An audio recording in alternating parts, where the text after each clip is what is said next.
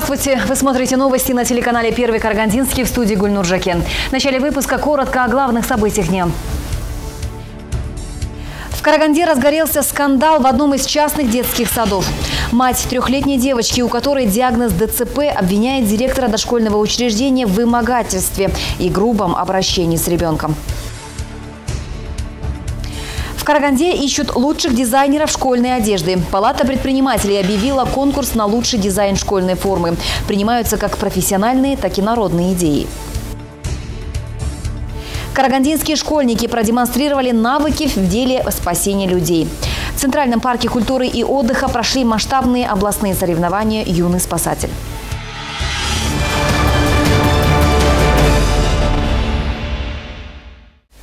Трехлетнего ребенка, больного ДЦП, выгнали из детского сада. Директор учреждения потребовала у матери-одиночки платить дополнительную сумму за особый уход, в котором нуждается девочка.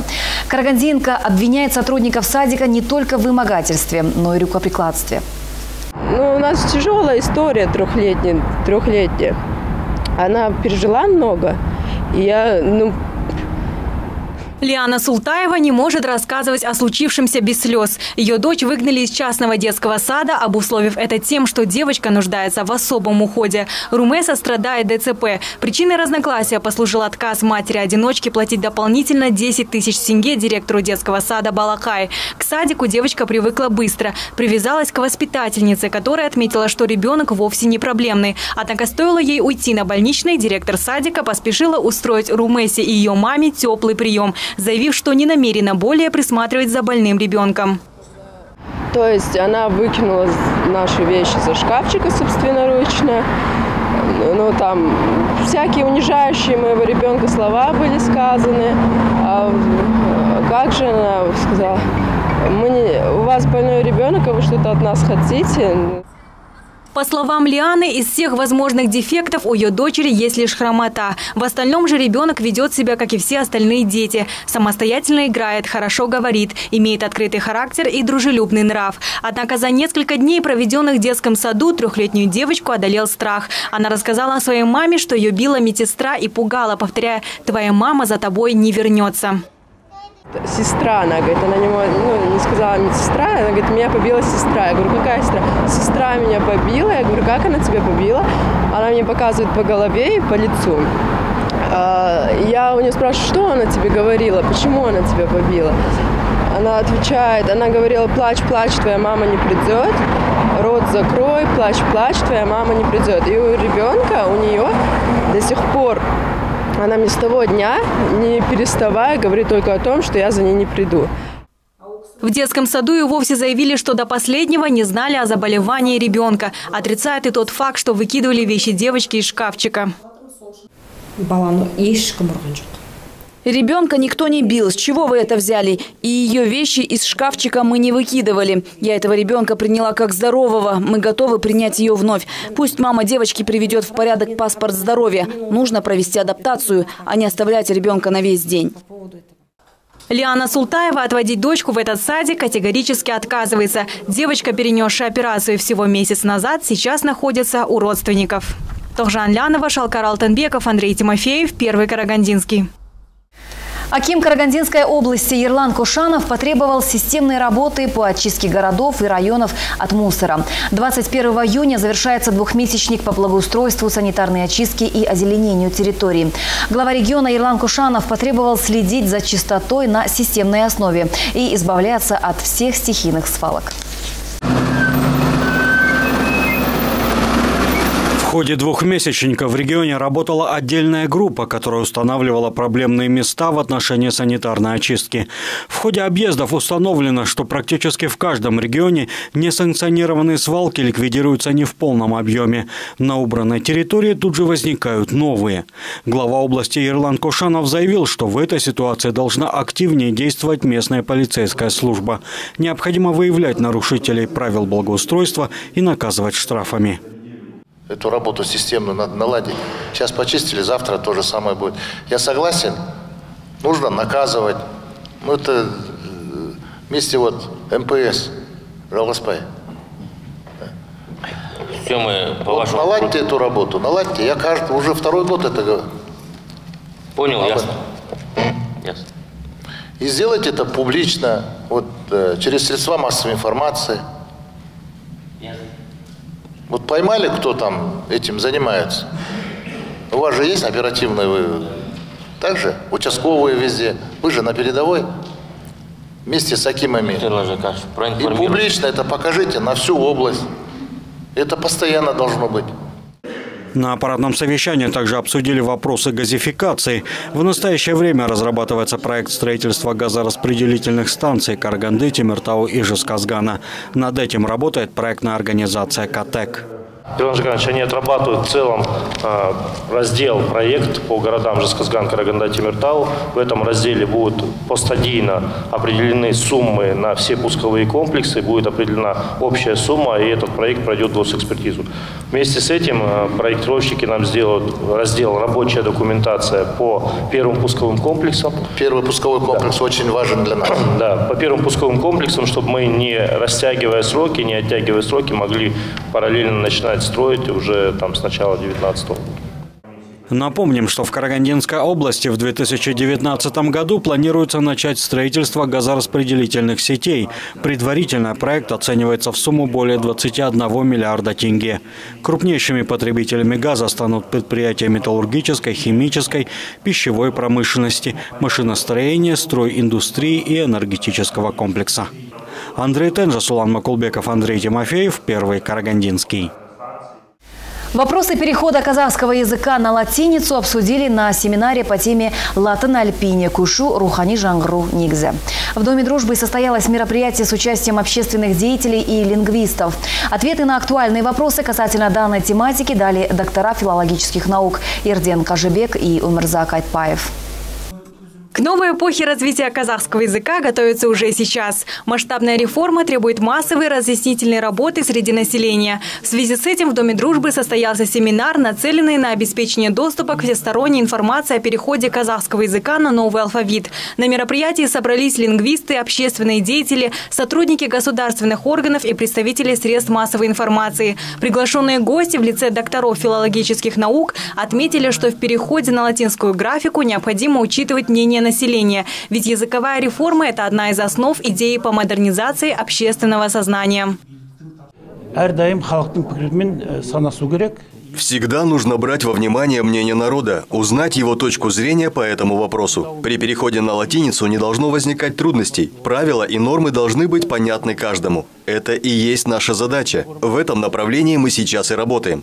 Ведь языковая реформа – это опора духовного возрождения. Президент Международного общества казах-теле Умирзак Айтпаев поделился своей точкой зрения касательно вопроса перехода казахского языка на новый алфавит. Профессор считает, что данный шаг является велением времени. қазақ жазуын латын графикасы негізінде жаңа әліпбиге көшіру талабын атасақ было много разговоров о латинской графике. Я считаю, что переход на латиницу – требование времени. Я не сомневаюсь в решении нашего президента. Переход на новый алфавит – это логическое продолжение многих реформ и исторических событий, постигших Казахстан. Изменение алфавита – это сложное дело, и мы не имеем права на ошибку. Напомним, по поручению Ельбасе переход на латиницу будет осуществлен до 2025 года. Глава государства поручил продолжить информационно-разъяснительную работу, что очень важно на сегодняшний день. Данный проект нашел положительный отклик среди жителей страны. Тохжан Лянова, Шалкар Алтанбеков, Андрей Тимофеев, Первый Карагандинский.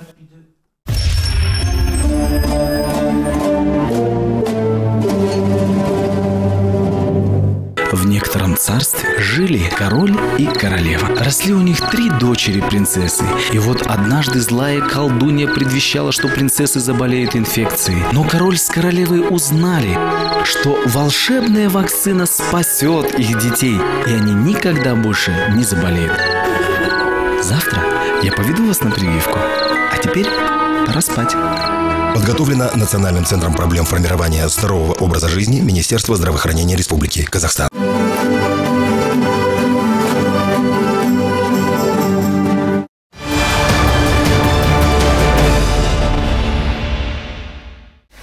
Карагандинцы разработают лучшие модели школьной формы для начальных классов. Творческий конкурс объявила Палата предпринимателей «Атамикен». На специальной пресс-конференции рассказали о деталях конкурса и о том, что ожидает победителей.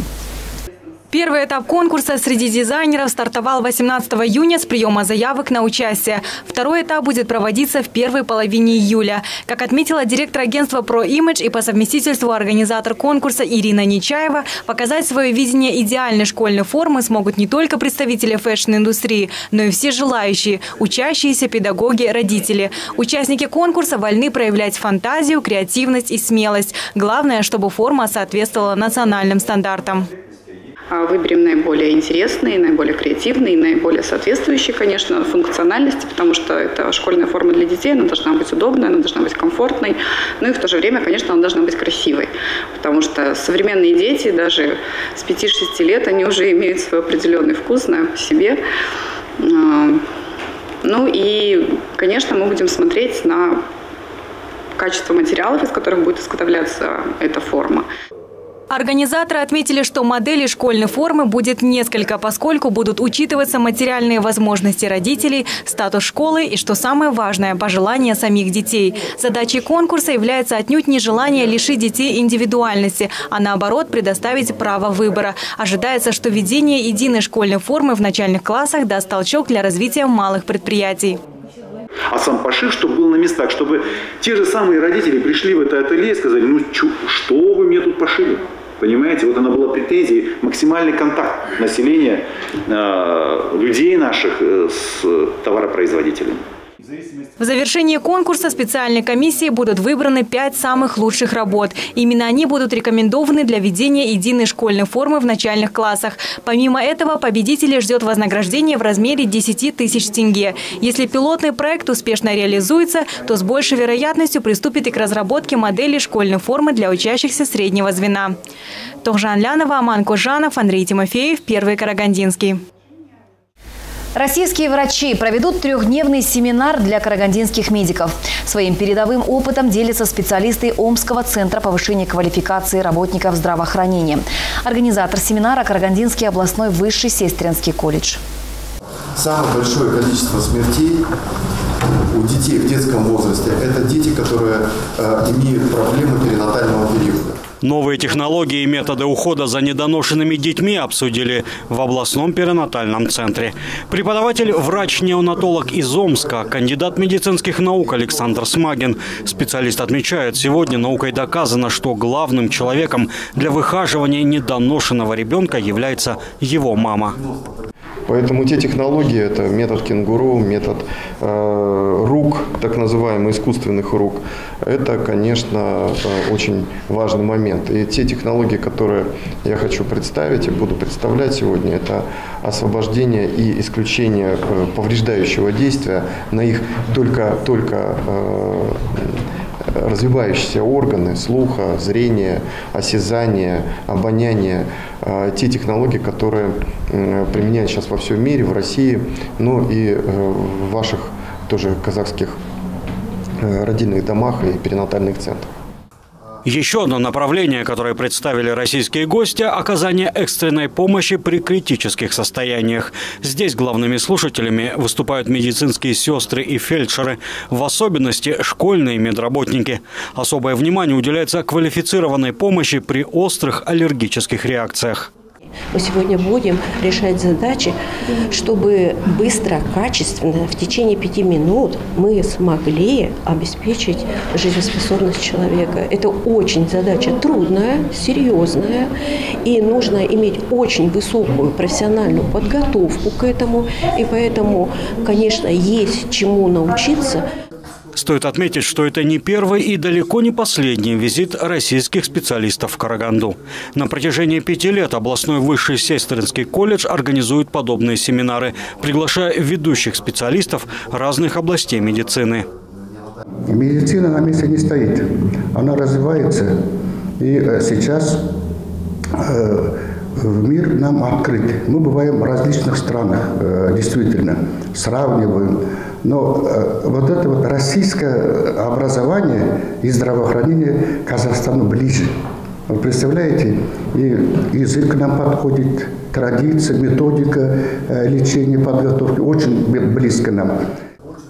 первый день семинар провели в областном перинатальном центре. Далее зарубежные врачи встретятся с медицинскими работниками областной клинической больницы и других лечебных учреждений Караганды. Андрей Теншал, Карл Тынбеков, Андрей Тимофеев, Первый Карагандинский. Карагандинские школьники продемонстрировали навыки в деле спасения. В Центральном парке культуры и отдыха прошли масштабные соревнования «Юный спасатель», организованные Департаментом по чрезвычайным ситуациям. На мероприятие областного масштаба приехали 80 учеников из школ районов и городов области. Соревнования «Юный спасатель» проводятся каждый год. Главная цель – привить детям любовь к здоровому образу жизни, научить их проявлять спокойствие и собранность в экстремальных ситуациях. Зачастую, принимая участие в подобных соревнованиях, дети проникаются интересом к профессии спасателя. В текущем году в областном соревновании приняли участие 10 команд со всего региона. Мероприятие интересное, э, дети проявляют интерес к нему. Ну и в дальнейшем э, многие из ребят выбирают профессию спасатель.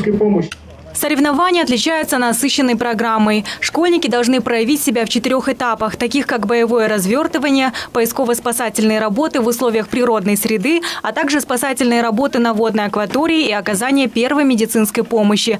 Помимо основных этапов для участников устраивают викторину и конкурс «Сенгазет».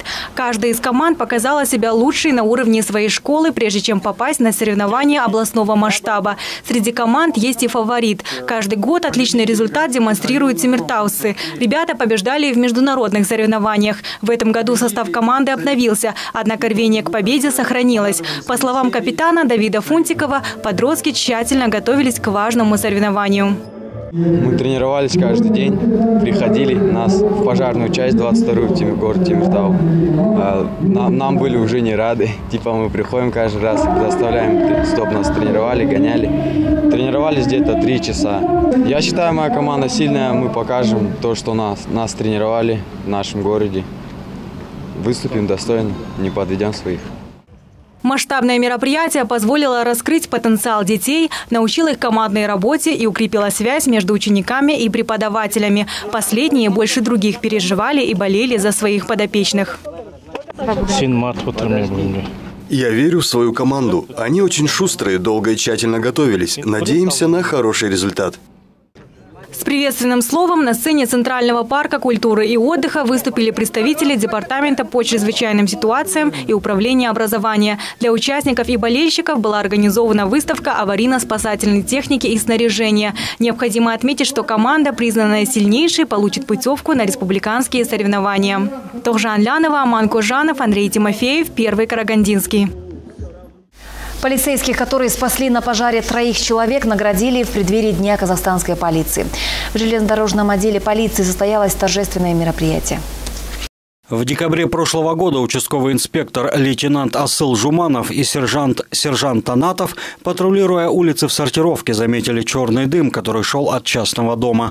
Дом и машина, припаркованная во дворе, сгорели полностью, но люди остались живы. И все благодаря оперативным действиям полицейских. Они вынесли из горящего дома двух женщин, помогли мужчине. И сегодня в их честь в железнодорожном отделе полиции организовали праздник. В общем, сегодняшнее мероприятие приурочено э, в преддверии 26-й годовщины со дня образования казахстанской полиции. Вот, э, празднуется 23 июня. Сегодняшнее мероприятие мы проводим в рамках уроков мужества. Вот, э, где мы сегодня чествуем сотрудников нашего отдела полиции, железнодорожного отдела полиции, которые отличились при несении службы, совершили героический поступок, значит, спасли гражданских лиц из пожара.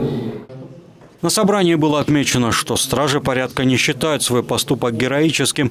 Так должен поступать каждый, заявляют полицейские. Этот случай так и остался бы никому неизвестным, если бы спасенный владелец дома не придал его огласке. Именно он направил благодарственное письмо на имя начальника областного ДВД с просьбой наградить полицейских. Я хочу поблагодарить начальника отдела полиции поселка сортировки за оказанную помощь и воспитание таких э, сотрудников полиции, как Асыла и Сержа. Потому что ребята молодые, то есть не испугались ни огня, ни дыма, подлезли в дым, в огонь. оказали помощь. В рамках торжественного мероприятия был показан художественный фильм «Операция «Сирена», снятый областным департаментом внутренних дел. В картине рассказывается о подвиге сотрудника полиции Александра Истомина, который погиб при задержании особо опасного преступника в октябре 2000 года. Завершилось мероприятие праздничным концертом. Андрей Теноман, Кожанов, Андрей Тимофеев, Первый Карагандинский.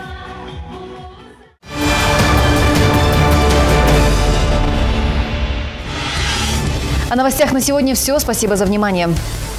Если у вас есть интересная информация, звоните нам по телефону 42 06 49 и смотрите наши новости на сайте канала. Всего доброго. Аман Саубалмстер.